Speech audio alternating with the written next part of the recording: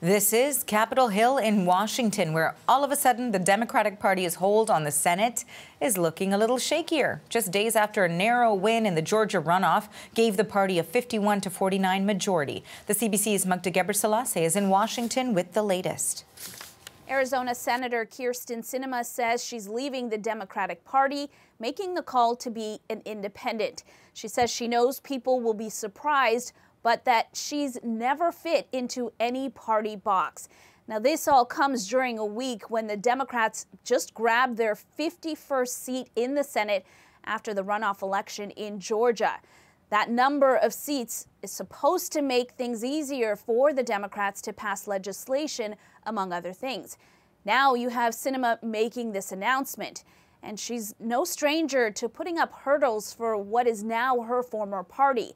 She's been one of two senators that has held up pushing through agenda items for the party.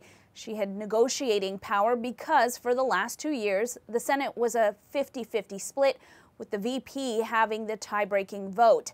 However, with these midterm election results and confirmation of 51 seats this week, the belief was the Democrats would have a little wiggle room. They could lose one vote and still get things passed. But Sinema's decision now may get in the way of that. Here she is on CNN saying why she wants to be an independent.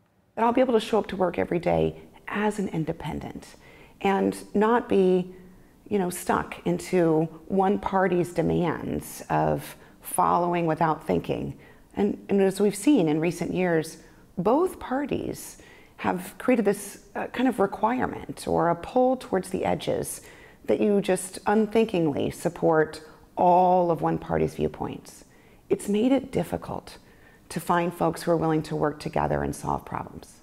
The thing is, the Democrats' control of the Senate already includes the cooperation of two other independents that are considered to be part of the caucus. Bernie Sanders is one of them. Will Sinema be like that, keeping it to 51 seats for the Democrats? She was asked. She didn't really say in the interview. But the White House says nothing really changes. Press Secretary Karine Jean-Pierre released this statement. We understand that her decision to register as an independent in Arizona does not change the new Democratic majority control of the Senate, and we have every reason to expect that we will continue to work successfully with her. Magda Gebrselassie, CBC News, Washington.